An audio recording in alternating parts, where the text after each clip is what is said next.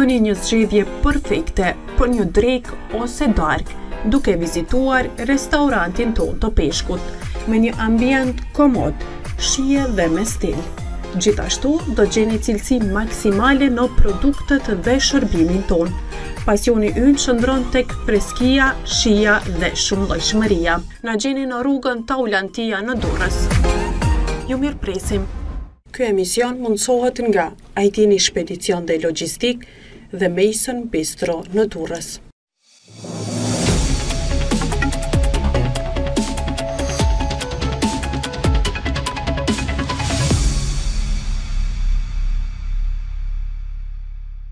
Mirë mbrëma të nderuar shikues, mirë se erdhët edhe këtë javë në emisionin Okult me Alfred Cakon, ku diskutojmë tema të ndryshme, sa i përket të fshehurave edhe prapaskenave.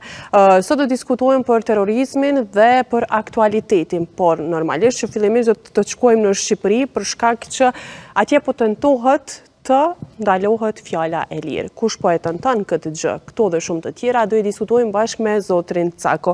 Para se të futemi thellë në temë, dua të bëj dy falënderime që janë kompania shqiptare në Gjermani, Ajdini Shpedicion Logjistik dhe Maison Bistro, restauranti i peshkut të freskët që ju mirëpret me një staf të mrekullueshëm në Durrës, më saktësisht në rrugën Taulantia. Kështu që vizitoni edhe do të bindeni edhe vet për cilësinë e ushqimit dhe mikpritjen. Pra, do të shkojmë ngadalë tek terrorizmi për shkak që ka qenë aktualitet edhe gjatë javës që po e lëmë pas, për shkak që të sulmit që ndodhi në Moskë, ku mbetën të vdekur 120 persona, 100 të tjerë janë të zhdukur dhe ka shumë të plagosur. Normalisht që Rusia zyrtare doli me deklaratën që prapa saj fshihet Ukraina. ISIS e mori përsipër për këtë sulm, por Kush fshihet pas saj, cili është qëllimi i organizatave terroriste, pse krijohen dhe shuhen më pastaj, këto dhe shumë të tjera do i diskutojmë me zotrin Cako që tashmë i them mirë se erdhe në studio. Mirë se ju gjeta. Faleminderit shumë që je edhe sot me neve për të diskutu tema të ndryshme. Kemi shumë rekomandime për tema të ndryshme që ndoshta do të kemi kohë t'i diskutojmë deri në fund të sezonës. Uroj shumë që kemi me pas kohë, për shkak që ka shumë njerëz që shkrujnë dhe rekomandojnë tema të ndryshme. Edhe mbrëmë m'kanë thonë me të bo lutje zyrtare që të lutem lexoji të gjitha tema që po t'i dërgojmë, po po m'duket që nuk po ke kohë se nuk po i sheh. Si, nuk po i shoh? Po. Cila tema? Nëpër rrjetet sociale. Ka shumë persona që ju shkrujnë dhe më pas më drejtohen mua, po, thonë, po tregoji Alfredit që kemi shumë juve, tema. Po, mund të më thoni se unë s'kam edhe kohë, nuk i lexoj shumë komentet po, rrallë. Je po edhe shumë aktiv tashmë edhe me kshila për shëndetin. Po, po unë shpia ime botuese ka botuar shumë libra për mjekësinë alternative, edhe ka shumë njerëz që më thonë puna jote më e rrezikshme nuk ka qenë, më thonë, si analist politik mhm. ose duke dalë nga shinat, nga kornizat që ka vendosur establishmenti në po. Shqipëri dhe në Kosovë, por T'ju tregosh njerëzve mjekësinë alternative, se si mund të shërohen me mjekësi alternative, kjo është një punë goxha e rrezikshme, thonë, sepse Big Pharma është një institucion jashtëzakonisht i fuqishëm, i cili nuk të fal, sepse kërkon të shesë ato helmet e veta, ato kimikatet, që janë të mbushura plot këto farmacitë, ka më shumë farmaci sesa dyqane për shitur bukë në Tiranë të paktën. Po nuk ndihesh i rrezikuar që i poston të gjitha këto në Facebook, me na ndihmu edhe neve se si të shërohemi? Absolutisht, unë i kam botuar edhe libra, po njerëzit lexojnë pak edhe unë përpiqem t'i ngacmoj që të kujdesen për shëndetin të marrin masa profilaktike. Ushtrim për trurin.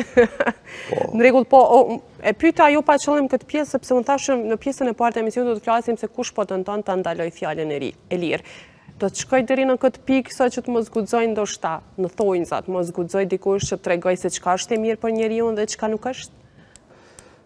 Shiko, kushtetuta e Shqipërisë ka liritë dhe të drejtat themelore të individit, ku përfshihen fjala e lirë dhe besimi i lirë mhm. fetar, dhe njëkohësisht mungesa e censurës ndaj medias. Kur erdhi sekretari i shtetit Blinken, i cili është një njeri i vendosur, mik i familjes Soros, i vendosur nga Sorosi dhe nga grupi i vet aty në... është një përfaqësues i lartë i sionizmit, është edhe vetë xhuish, Ai, kur erdhi në Shqipëri, nënshkroi midis të tjerash dhe një memorandum, ku i urdhronte këta eunukët e politikës shqiptare, këta jesmenët, që për çdo gjë dinë e kanë kurrizin gjithmonë të përulur, njerëz të mbaruar, të cilët çdo gjë që u thonë të huajt e pranojnë menjëherë. Ndoshta Putini ka patur të drejtë, kur tha që Politikanët shqiptarë, tha, janë të paaftë të qeverisin Shqipërin, tha, dhe i shërbejnë, tha, atij padronit të radhës. Mhm. Kështu i ka quajtur politikanët shqiptarë. Pavarësisht se ne jemi, domethënë, në konflikt Mbi njëshekullor me sllavët, për shkak se ata kanë shtrirë kthetrat e tyre mbi territoret shqiptare për një shekull e ca dhe akoma kanë territoret tona ne. Dhe Rusia i ka mbështetur këto pretendime të serbëve. Ne me Rusinë sigurisht jemi në luftë politike dhe gjeopolitike, por disa të vërteta që ata thonë, ne nuk ka se si të mos i marrim parasysh. Dhe Irani, ka thënë të njëtën gjë presidenti i Iranit, duke i quajtur politikanët shqiptarë shumë makiavelistë dhe dredharakë. Dhe kjo Nuk na bën në sy të botës si njerëz seriozë. Po të shikosh Greqinë, për shembull, politikanët grekë, të cilët kanë një eksperiencë më të madhe në politikën e jashtme, nuk flasin as në lidhje me luftën ose flasin shumë pak politikanët, jo shtypi. As në lidhje me luftën Rusi Ukrainë, as në lidhje me luftën Izrael Palestinë, flasin shumë pak. Edhe kur flasin, flasin me shumë diplomaci dhe me shumë kuptime. Nuk është ndoshta për shkak të Turqisë, nuk flasin? Jo, s'ka lidhje Turqia në Rusi, Ukrainë, mhm. as në Izrael, s'ishte përfshirë Turqia direkt. Jo, po ka deklarata bombastike dhe ju ndihmon, ka gjëra shumë. Edhe Palestinës, Turqisë. Po, po Turqia ka politikën e saj, unë po them për Grekët. Grekët nuk ndihen. Kupton, kurse ky politikani tonë, ky Edi Rama, Bashkë me atë kemi në një, mua më duket idiot ai megaloman, ai ambasadori që ka Shqipëria, si e ka ai Ferit Hoxha, mos gaboj emrin, del e i duket vetja si gjigant i madh atje, domethënë mban fjalime në një rang me këta liderat botërorë, sepse ka pasur dhe një status aty në Këshillin e Sigurimit Shqipëria të përkohshëm, Edhe e shfrytëzon dhe këtë status e del e i është mbushur mendja sikur është lider globale, sikur pyesin këta e japin sa fjalime kështu. Po ndoshta dikush ju ka dhënë fuqinë që të flasin. Po prap, po është një fuqi fallco ajo, nuk është fuqi e shqiptarëve, ajo është t'i shërbesh interesave, domethënë është proxy war në diplomaci, kupton, të të përdorin ty tash që të fitojnë ata të tjerët. Ti në fund ngelesh një një shërbëtor prap. Ëh. Shiko, në diplomaci Është si ajo anektoda e ujkut me qenin. E takoi njëherë ujku qenin në rrugë dhe i tha, o çuni xhajës, i tha, si duket jeta me njerëzit, i tha. I tha, po mirë kështu kam me ta, tha, më japin, tha, po më tallin shumë, tha, më përqeshin, tha, kur zihen me njëri-tjetrin, i thonë qen bir qeni njëri-tjetrit, tha, më përdorin mua si etiketë negative, tha, kur unë ju mbroj fëmijët, ju mbroj pronat, tha, ju shërbej, tha, nuk fle as natën, tha, që të mbroj jetën e tyre, tha. I tha, po për mua çar thonë? Për ty flasin mirë, i tha. Kur mburrin ndonjë, tha, që është i fort, i fuqishëm, tha, dhe nuk mposhtet, thonë, ky është ujk, tha. Dhe Çuditërisht tha, ti tha, je armik me ta tha, ju sulmon pronat, ju ha kopetë e bagëtive tha, dhe ata të vlerësojnë tha. Po unë të pata thënë tha që ata që janë të përkulur dhe përkulin kurrizin, gjithmonë i shkelin me këmbë tha. Ata të cilëve ju shërbejnë tha. Kurse në qoftë tha se je kundërshtar ndaj tyre, tha, dhe ju reziston, tha, dhe i rrezikon, atëherë ata fillojnë të të vlerësojnë. Po, a do të kishte pas Shqipëria fuqi që t'i rezistojë dhe të mos flasë dhe të mos ju bindet ndoshta elitës botore? Shiko, ne duhet t'i trajtojmë si zjarri, as shumë afër, se na përvëlojnë as shumë larg se na ftohin. Kupton? Duhet të rrimë në mes, siç bën Greqia. Kupton? Në mes, ne jemi vend modest, një popull i vogël. Pastaj popujt mbajnë shënime, rusët këtu do t'i kemi ne gjithmonë 100 kilometra larg në vijë ajrore, kalove Bullgarinë, dole në Rusi. Mhm. Dole në ujërat e Detit të Zi, kupton, 150 km sa është në vijë ajrore.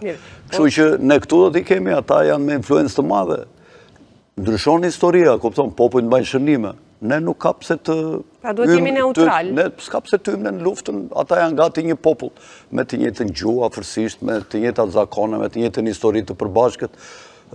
Kupton, lufta nuk është e paprovokuar, luftën e ka provokuar dhe po e vazhdon Perëndimi, brenda popujve sllavë ortodoksë i ka futur një. Të jetë një shembull sikur, hipotetikisht, të futej në luftë Kosova me Shqipërinë, larg, po, qoftë. Po, dhe të, të prononcoheshin ata, të bëheshin me njërën ose me tjetrën palë. Po, ata nuk prononcohen, mm -hmm. po të ndodhë kjo gjë, kupton? Rrinë asnjanës. Ça po ndodh me fjalën e lirë në Shqipëri? Tashi, kur erdhi, kur erdhi Blinkeni, se këtu e nisa, kur erdhi, po, Blinkeni, firmosi një memorandum që me ca fjalë ambigue e kështu, domethënë me shtatë kuptime, ku i detyronte këta eunukët që firmosën, ai ministri i jashtëm duket Igli Hasani, firmosi dhe Shqipëria duhet të ndalonte propagandën dezinformuse të vendeve armiqësore në Shqipëri, Dhe njerëzit duhet të flasin me një dirigjent që t'i urdhërojë çfarë të thonë e çfarë të flasin. Njerëzit si kush?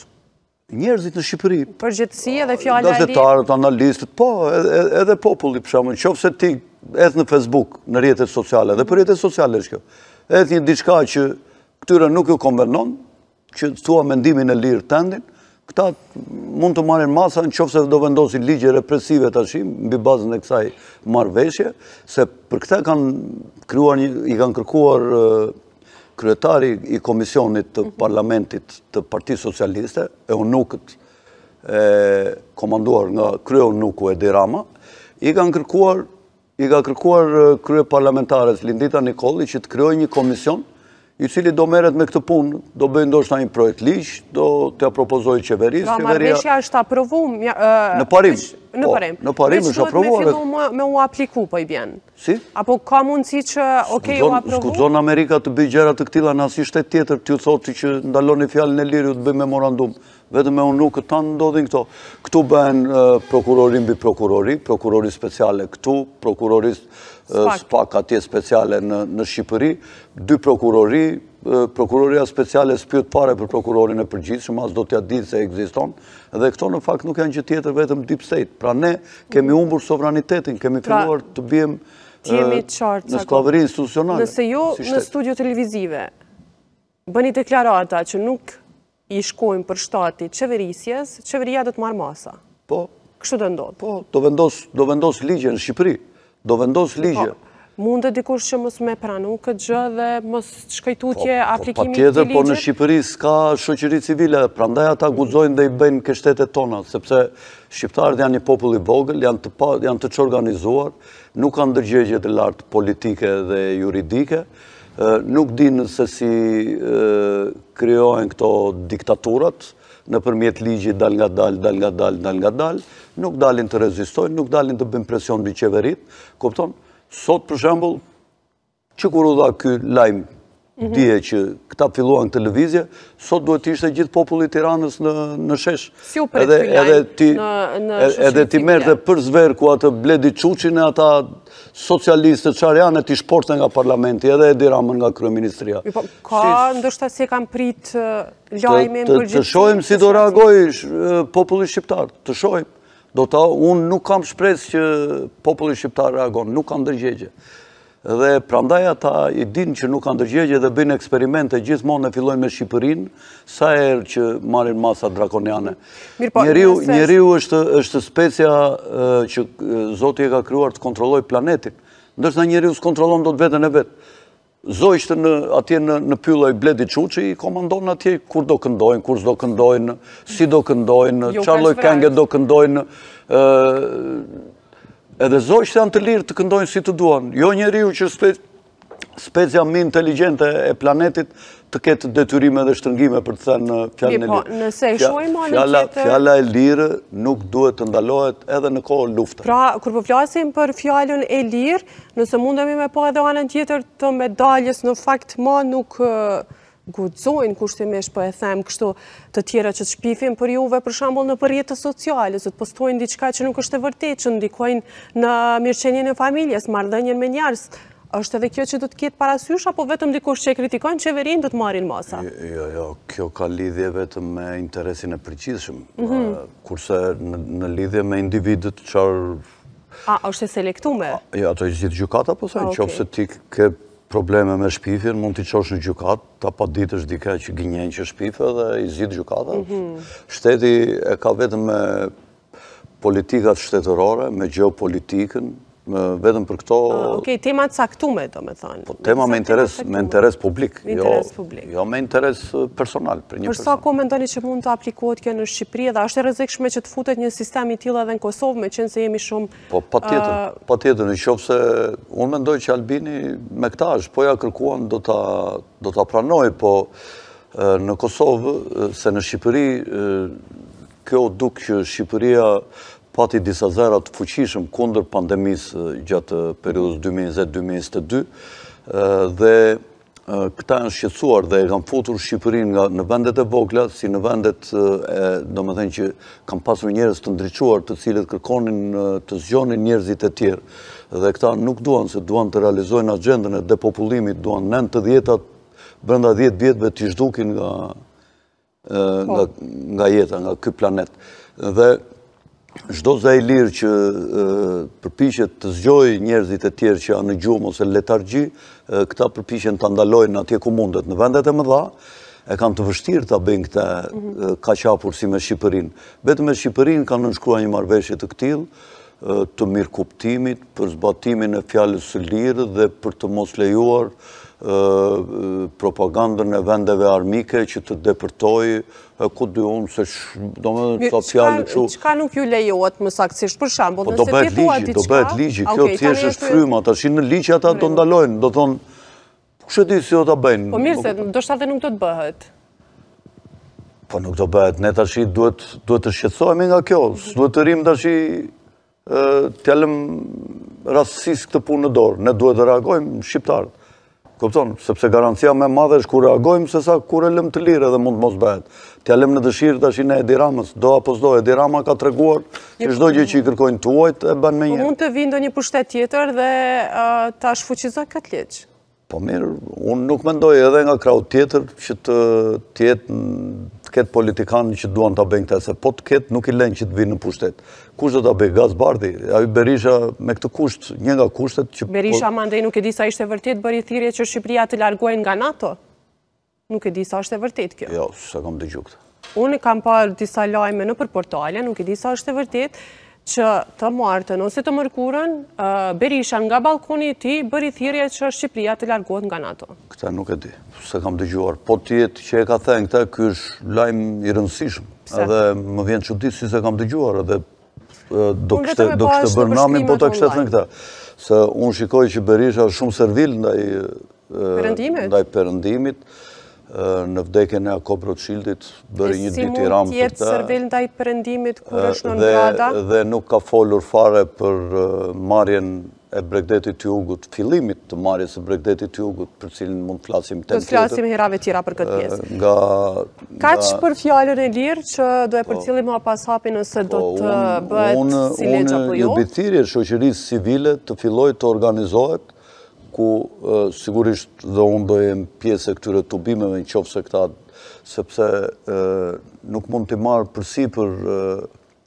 Një njeri të gjitha gjërat, po, shoqëria civile është për veprimet. Duket ju gjatë javës që po e lamë pas, keni pas probleme me paraqitjet e juaja publike nëpër mediat në Shqipëri, ka qenë e po, vërtetë po, kjo? Po, po. Sepse kam pa reagimet e shikuesve, të kanë kërku. Po, po. Çfarë kanë do? Në një emision në Shqipëri, Zonë e Lirë, në Arian Çani, Unë u ndalova që të vazhdonja të jepnja, domethënë të isha pjesëmarrës i përhershëm i analizave në studio. Po drejtuesi i emisionit nuk më tregoi, më nxori arsye të ndryshme dhe ai e vuan largimin tim, sepse ai e ka emisionin e tij atë, është i lidhur me interesa edhe ekonomike me emisionin e vet. Dhe sigurisht që i kanë rënë shikimet, i kanë rënë të ardhurat nga rrjetet sociale, ku ai është i përfshirë dhe i monetizuar me emisionin e vet, dhe ai e vuan këtë gjë, mhm. por sepse i ka rënë shumë shikueshmëria, nga 250, 300.000, 350.000 që ka pasur shikime në Youtube në ato maksimalet brenda një muaj me pjesëmarrjen time, tashi ka mbajtur nga 25, 30 mijë mhm. shikime, po kanë rënë 10 fish. Po, po, dhe kjo arsye është me sa e kuptoj unë dhe me po. sa kam marrë vesh unë është se këta pronarët e ABC-së I kanë bërë presion drejtuesit të emisionit që të më largojë mua ose të mbyllë emisionin, mhm. sepse janë një televizion i censuruar, i kapur, ndoshta nga ambasada të huaja, nga ambasada britanike ose ambasada amerikane ose të dyja bashkë, të cilët duan thjesht shpëlarje truri, siç janë këto emisionet e Blendi Fevziut, Dhe emisionet e tjera atje në Shqipëri janë të gjitha për shpëlarje truri. Janë drogë, narkozë që s'i mësojnë asgjë popullit. Kjo që ka fillu me u apliku ligji ende pa u formu si ligj dhe pa hy në fuqi ligji edhe ka fillu që nga ju në fakt po. cenzurimi i fjalës së lirë. Po, po, patjetër. Patjetër, me kë do fillonte, po mos fillonte me mua të parin. Parashihesh si rrezik kombëtar, po më dukesh. Jo si rrezik kombëtar, unë jam pro kombëtar dhe jam mhm. në interesin kombëtar. Mirëpo, po mendoj... Si rrezik për kabalën dhe për eunukët e kabalës politikanët shqiptarë në Shqipëri. Që mund ta vënë emrin shumë lehtë si rrezik kombëtar, pra mundën me të thonë me të po, cilësu të tillë. Çdo gjë mund të thonë, ju kini shembull Assange-in, një nga heronjtë më të mëdhenj që ka pasur historia e njerëzimit. është i vetësakrifikuar, një hero i gjallë, për të cilin u bë dhe një film këto ditë, humbja e besimit, mhm. The Trust Fall. Po. Dhe është një film ku tregon që të gjithë ata që mendonin se në perëndim fjala e lirë ishte kult, në kuptimin e mirë të fjalës, tashi ky mendim nuk ekziston më dhe me goditjen e Assange-it u kuptua që Assange mendonte që do t'u tregonte politikanëve për ekzistencën e Deep State-it që ata të sulmonin Deep State-in. Mirëpo nuk e kuptonte që Deep State-i ishin vetë politikanët po.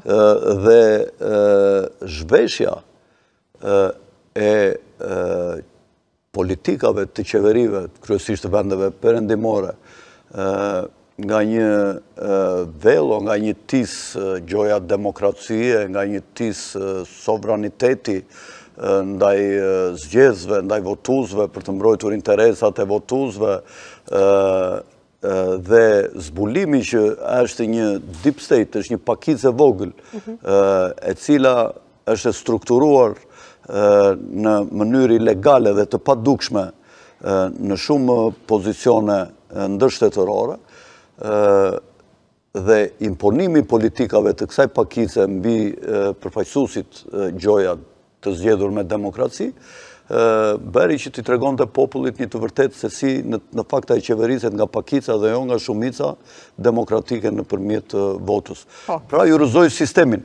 Dhe për këtë, këta nuk e falën dhe e burgosën dhe domethënë fjala e lirë sot e idhullit më të madh fjalës së lirë Në historinë e njerëzimit ndonjëherë, Julian Assange ndodhet në burg dhe persekutohet. Do të ecim tutje, do të shkojmë në Moskë, aty ku javën që po e lëmë pas ndodhi një tragjedi. 140 vetë humbën jetën nga terroristë të cilët sulmuan sallën e operës dhe më pas e dogjën atë sallë. 100 të tjerë konsiderohen të zhdukur dhe sulmin e mori përsipër ISIS. Në ndërkohë, Rusia zyrtare gishtin e drejtoi nga Ukraina. Çfarë po ndodh me këtë pjesë? Po ka ende organizata terroriste, në fakt nganjëherë duket sikur bota pushon për pak nga këto organizata terroriste dhe menjëherë zgjohen nga gjumi dhe bëjnë krime tjera. Organizatat terroriste do pushojnë kur të pushojnë organizatat shtetërore të shërbimeve sekrete. Pra, thuni që nuk ka organizata terroriste.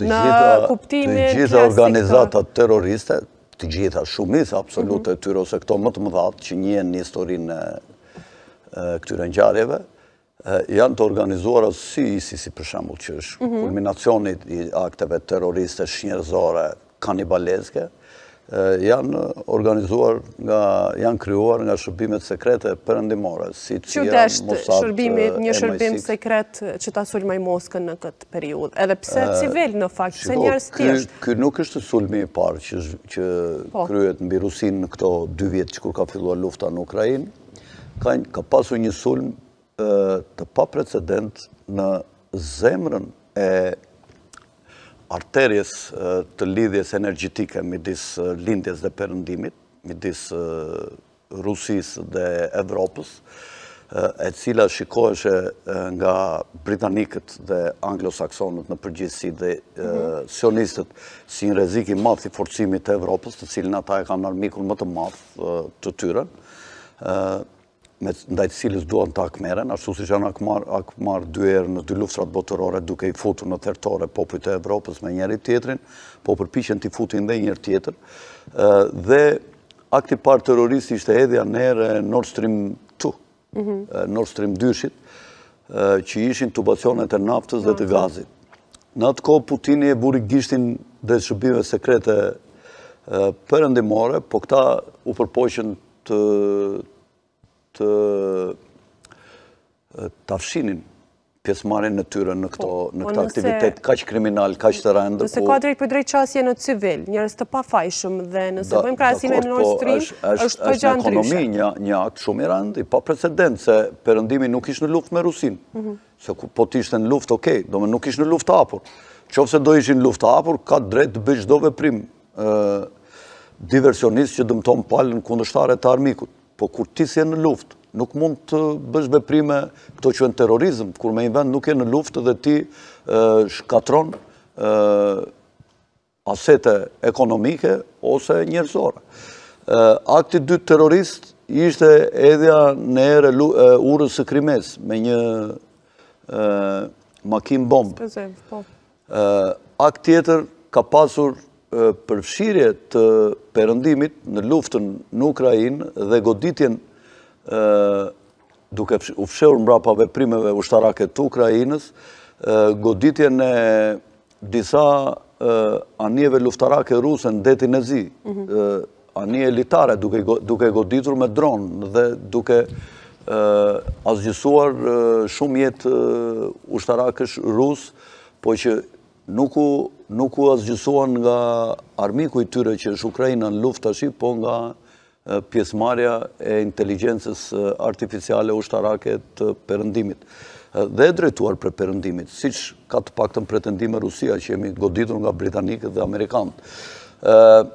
Dhe ky ishte akti i tretë terrorist që ose i katërt i i madh se janë goditur edhe depozita nafte ose aerodrome të ndryshme të Rusisë janë goditur nga dronët të drejtuar nga perëndimi duke u fshehur dhe duke u maskuar sikur e ka goditur Ukraina.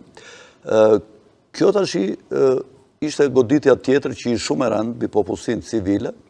Gjithmonë kur ndodh një goditje, duhet pyetur kujt i intereson. Tashi për mua ka dy skenarë që mund t'i interesonte. Po e marrim nga më i vogli tek më i madhi. Skenari i parë është që i interesonte Putinit. Sepse Putini Kish filluar të dobësoheshe si lider politik mbas zgjedhjeve, pasi shumë agjenci perëndimore kishin filluar të jepnin manipulimin e zgjedhjeve në disa qendra votimi, ku njerëzit e pushtetit të Putinit vinin hidhnin kështu fletë votimi falso. Këto i ka dhënë BBC-a, mund të ketë edhe fryrje dhe ekzagjerime dhe montazhe, unë nuk e di, po në Rusi fliteshe shumë për këtë. dhe populli mendonte që zgjedhjet ishin one man show, domethënë ishin fasadë, ishin farsë. Po. Dhe Putini i kish manipuluar, sidomos mbas vdekjes të atij kundërshtarit kryesor në burg. Dhe ndoshta i duheshe një akt i këtillë që të organizonte njerëzit që t'u theshte në qoftë se unë bie, ju jeni të gjithë të mbaruar dhe do përfundoni të vdekur. Prandaj, duhet të mobilizohemi bashkë se kemi armik të përbashkët të egër përpara dhe mos merremi me këto çikërrimat e zgjedhjeve. Kupton? Kjo Është një skenar, që e mendoj unë, më kupton? Pra që i interesonte Putinit. Skenari i dytë është që i interesonte sigurisht perëndimit dhe Ukrainës, sepse janë të pozicionuar kundër Putinit. Kjo mund të jetë dhe një skenar, që mhm. këta janë bashkë dhe i bëjmë bashkë këto gjëra. Ne do bëjmë këtë, ti do bësh këtë, e kupton? Dhe në fund si do mbyllet pazëlli e dinë ata, dora dorës si do vejë nga viti në vit, nga 6 mujore në 6 mujore. Deri Ndoshta në vitin 2007. Kur janë caqe të tilla, pse nuk sulmohet për shembull, nëse është një plan, nuk sulmohen... Objektet ushtarake, po. ose industria, po. ose... Po, Se shkojnë sulmohen personat... Kjo tregon që kur janë bashkë, kur janë bashkë, gjithmonë kjo ndodh. Nuk sulmohen asnjëherë fabrikat ku prodhohen armatimet. Mhm. Por, armatimet e përfunduara i godasin. Për shembull,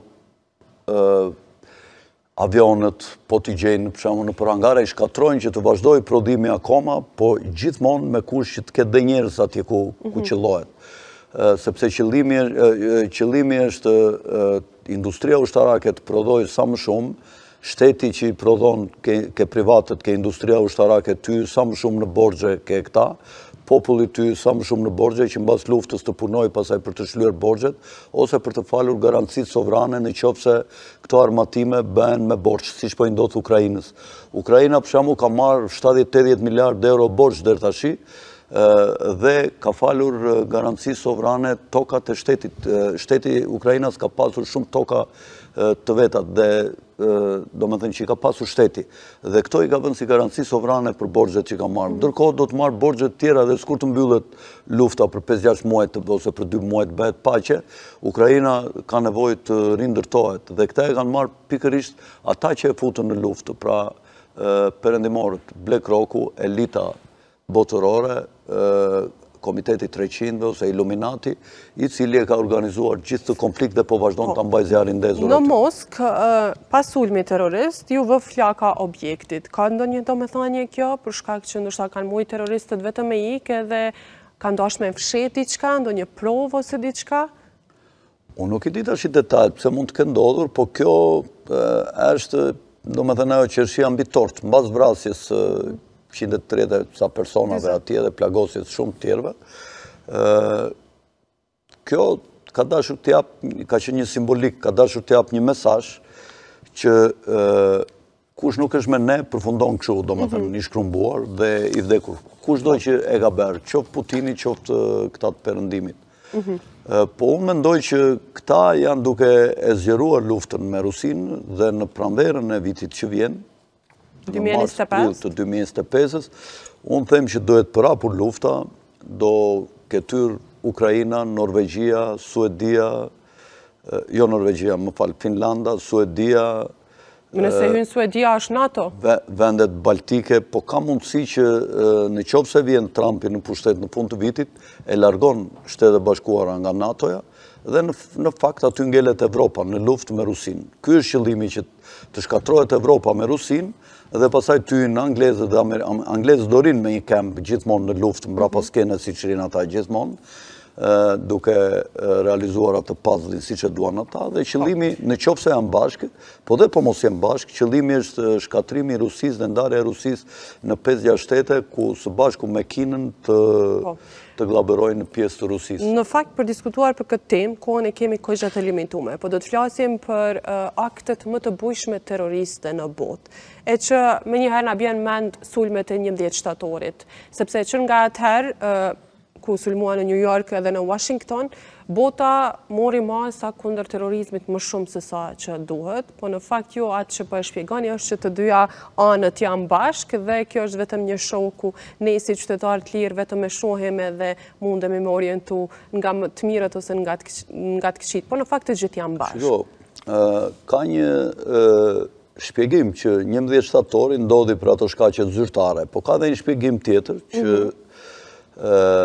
Nëse mundet regjia, foto numër një. Është një shpjegim alternativ, që këta e quajnë teori konspiracioniste, ku thuhet që nuk ka pasur fare avion të vërtetë, po ka qenë një shfaqje me hologram dhe gjithçka ka filluar të hidhet në erë nga lart poshtë. Kemi pa edhe shembjen e kullave, ka po. qenë nga lart. Po, dhe fakti është që asnjë nga pronarët xhuish të kullave nuk ndodheshin aty dhe asnjë xhuish nuk ka vdekur me sa di unë. Jo, në kullat ka pasur rreth 3000 të vdekur, 2996. 2996. Po, pra, edhe rreth 6000 të plagosur. Asnjë xhuish kur dihet që këto dy qendra kanë qenë qendrat që frekuentoheshin gjithmonë Nga xhuishit, dihet që shtatë për qind e popullsisë së Nju Jorkut janë xhuish. Kur është kaq e lehtë me analizu diçka të tillë, pse veprojnë kaq cekët? A duket i cekët ky veprim? Po cekët është në qofë se ne s'i kuptojmë, po në qofë se po, ne fillojmë i shpjegojmë me këtë logikë që po i shpjegojmë, do të thotë që... Po ka shumë njerëz që i shpjegojmë? Askush nuk mund t'ia hedhë dot të vërtetës, e mhm. vërteta triumfon, mbi gjithçka. Dhe Ky pra ishte një false flag dhe ka shërbyer për të justifikuar ndërhyrjen në Afganistan. Afganistanin kanë dashur ta sulmojnë bankierët, Rothschild, sepse Afganistani prodhonte vetë monedhën banka qendrore. Dhe këta kanë kërkuar që të merrnin në zotërim emisionin e parasë, një nga qëllimet kryesore, dhe qëllimi tjetër ishte marrja e kontrollit mbi parcelat e heroinës dhe për ta kontrolluar perëndimi, ashtu si luftrat e opiumit që u bënë 1830-1850 e sa nga Britania për të marrë në kontroll opiumin, Ashtu edhe kjo zonë që prodhon shumë opium, se ka dy zona, njëra mhm. quhet gjysmëhëna e artë dhe njëra është trekëndëshi i artë ku bën pjesë Pakistani, u mor në kontroll për prodhimin e heroinës. Dhe kam përshtypjen dhe tashi që ata janë larguar, ka pasur një marrëveshje me talebanët që këto parcela të komandohen nga njerëz të caktuar me rrjetet ndërkombëtare të drogës, të cilat transportohen heroina me ato makinat tir Tir do të thotë që ka një ligj që makinat kontrollohen vetëm aty ku ngarkohen dhe aty ku shkarkohen dhe të gjithë të gjitha doganat që kalojnë nuk ka të drejtë askush ta kontrollojë se çfarë ka brenda kamioni në vendet tranzit. Akt tjetër terrorist përveç, domethënë kjo ka shërbyer edhe për rritjen e represionit të qeverisë dhe të kontrollit mbi banorët dhe mbi qytetarët dhe kufizimin e të drejtave dhe lirive të njeriut. Këta për shembull çdo veprim mbi pronat ose mbi jetën e të tjerëve mund ta klasifikonin si akt terrorist dhe për një Grindje të vogël, në qoftë se ishte një njeri që qeveria nuk e deshte, mund ta kanalizonte si akt terrorist që kërcënonte dikë tjetër dhe mund të dënohesh me burgim të përjetshëm, pra ta përdorin për kundër kundërshtarëve të sistemit. Në qoftë se i marrim kështu si në mënyrë kronologjike, në vitin 2004 ka ndodhur ky marrja peng në shkollën Beslan, Në një shtator të vitit 2004, në Rusi, ku u morën 1.100 persona peng, ku përfshiheshin dhe 777 fëmijë, dhe ky akt u bë ditën e parë të hapjes së shkollës. Nxënësit e shkollës këtu, i kemi në... fotografi?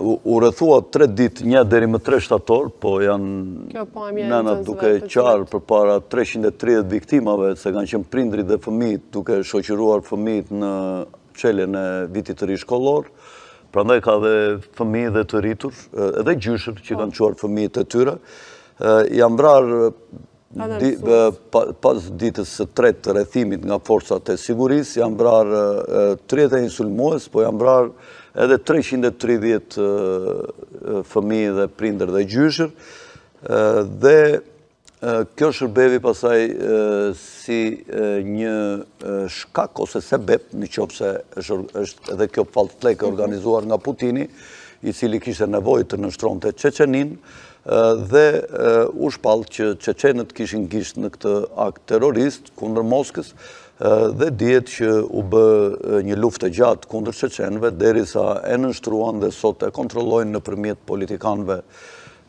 dhe e kanë rindërtuar në fakt shumë Çeçeninë dhe sot myslimanët e Çeçenisë kanë qenë pjesëmarrës në grupe speciale, në elitat e ushtrisë ruse, gjatë luftës në Ukrainë, ata kanë marrë pjesë në marrjen e qyteteve të tilla të vështira kundër naziskinëve në qytetet e Mariupolit, po dhe në qytete të tjera të Ukrainës, ku ushtria ruse nuk i merrte dot së bashku me atë grupin Wagner. Po. Kanë qenë dy grupet elitë. Bëjmë një përshkrim ma të shpejt për shkak të kohës, po. shkojmë te sulmet e? Mund të përmendim këtë sulmin në Republikën Demokratike të Kongos, që quhet Yumbi Violence në vitin 2018, pra para 5-6 mhm. vjetësh. Shkojmë me materialin numër 3. U vranë 890 persona, ka qenë një luftë mes dy fiseve në Kongo, në Kongo që kanë qenë fisi Banunu dhe fisi Batende, këta që u vranë ka qenë fisi Banunu. Pra po flasim për vitin 2018 dhe e shohim se në çfarë po. gjendje në vitin 2018 mundet me qenë një vend. Po, kanë qenë vrasje të mëdha, u vranë gjatë varrimit të një kryetari lokal po. aty filloi lufta.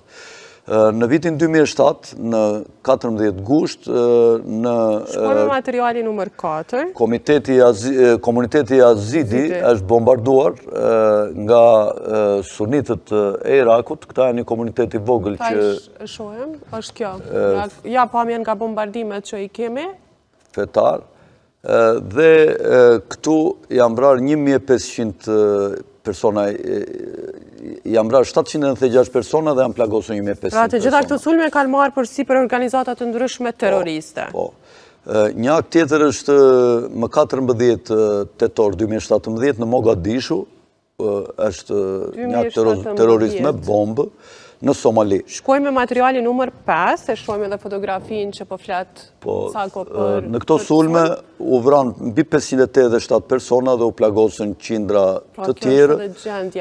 Bombardimet u kryen nga një grup vetëvrasësish, që shoqëroheshin me kamionë të ngarkuar me eksploziv, dhe kjo ka ndodhur në tregjet e frekuentuara në atë moment nga popullatat për të bërë pazar. Qeveria somaleze akuzoi në atë kohë një grup militant Al-Shabaab, i cili e kishte kryer këtë krim kundër... Pra kishte marrë përsipër kjo organizatë po, terroriste. Po, shiko, ja,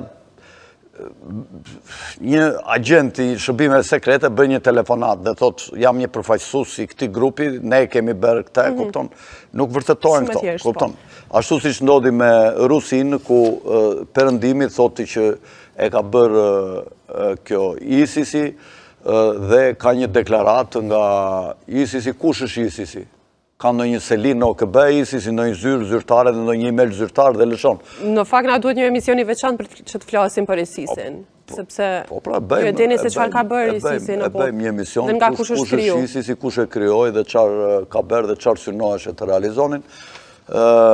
Na ka prek edhe Shqipërinë dhe Kosovën, në fakt, ka marrë shumë të rinj të cilët po, kanë shku në ISIS. Po, hoxhallarët e nxitur nga shërbimet sekrete të Perëndimit, i nxitën besimtarët e tyre, që të shkonin në luftë në krah të ISIS-it kundër pushtetit të Al-Asadit, i cili në fakt u përket pakizave të islamit, sepse është shiit, shiit, sekti më i vogël, dhe gjoja vinin luftonin në emër të fesë po. sunitët kundër shiitët, dhe në fakt kur ISIS-i u mund nga ndërhyrja e rusëve dhe e Turqisë, se Turqia në fillim e mbështeti luftën e Perëndimit në Siri, po kur pa që aty kishte rrezik që kurdët e Sirisë të ngrinin gjithë kurdët e Turqisë për të krijuar shtetin e Kurdistanit, u bë me Rusinë dhe në fillim i goditi një avion, qoftë se ju kujtohet mhm. Rusisë, dhe lejoi rrugë kalimi Turqinë për terroristët që vinin nga të stërvitur në vende të tjera të Lindjes, si në Pakistan,